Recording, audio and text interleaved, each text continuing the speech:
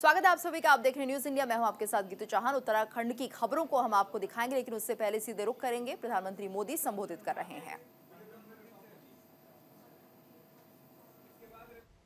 इन project से बिजली तो मिलेगी ही।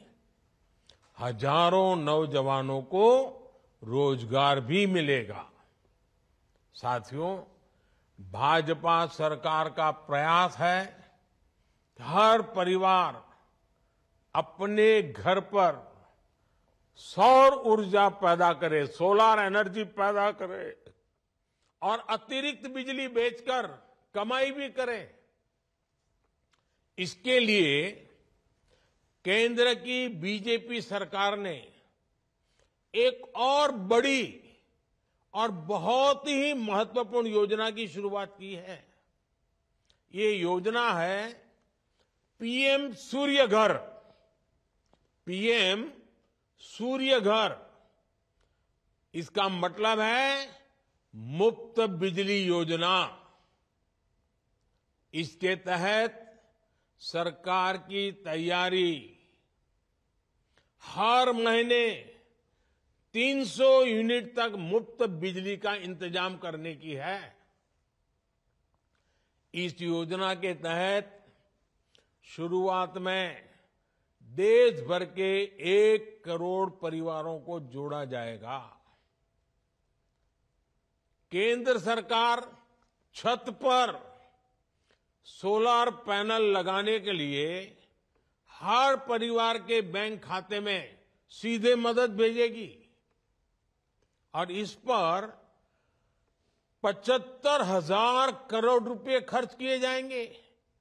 इसका सबसे अधिक लाभ मध्यम वर्ग और निम्न मध्यम वर्ग परिवारों को होने वाला है। उनकी घर की बिजली मुफ़्त हो जाएगी। सोलर पैनल लगाने के लिए बैंकों से सस्ता और आसान ऋण भी दिलाया जाएगा। मुझे बताया गया है कि राजस्थान सरकार ने भी पाँच लाख घरों में सोलर पैनल लगाने की योजना बनाई है। ये दिखाता है कि डबल इंजन सरकार गरीब और मध्यम वर्ग का खर्च कम करने के लिए कितना काम कर रही है। साथियों, विकसित भारत बनाने के लिए हम देश के चार वर्गों को मज़बूत बनाने में जुटे हैं। ये वर्ग हैं युवा, महिला, किसान और गरीब। हमारे लिए यही चार सबसे बड़ी जातियाँ हैं। मुझे खुशी है कि इन वर्गों के सशक्तिकरण के लिए मोदी ने जो गारंटी दी थी उन्हें डबल इंजन सरकार पूरा कर रही है। अपने पहले बजट में ही राजस्थान की भाजपा सरकार ने युवाओं के लिए सत्तर हज़ार भर्तियाँ निकाली हैं। आप पिछली सरकार के दौरान बार बार जो पेपर लीक होते थे ना पेपर लीक से लगातार परेशान रहे हैं।